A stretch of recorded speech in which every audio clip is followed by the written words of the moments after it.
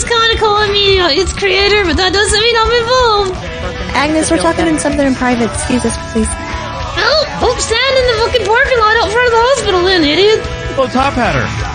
Oh, don't cramp my style, buddy. What are you doing? Oh, I see one. No, wait, turn, turn, wait, go back, go back, go back. Oh, go. Hey, thanks for that problem. treatment there of Anytime. my wounds from a car. Appreciate you. There's nothing I enjoy more than routine car crashes.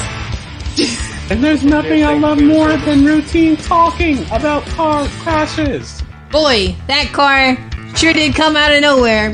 I know, right? It like was so awkward. Uh, there weren't zombies a week ago. Yes, there I don't know, was. what, what's what's your superhero name, Mister One Upsmanship? I am in a lot of pain from that car wreck, which I am taking extremely seriously. I am glad you took it seriously and took it to Pillbox Medical.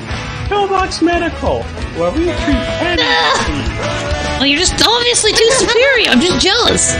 Listen, the thing is, Thank you for choosing Pillbox Medical. I will try not to be injured in a car wreck again. All right, make sure you take good care of your body. Lower Since this apparently is your problem, you fucking solve it. Hold on. And when I do, I'm gonna return as a heroic doctor that's not suspended. Ah!